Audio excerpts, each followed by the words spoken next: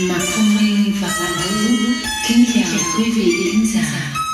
Kính mời quý vị thưởng thức chương trình tất nhạc mang tự đề Ngày đó xa rồi.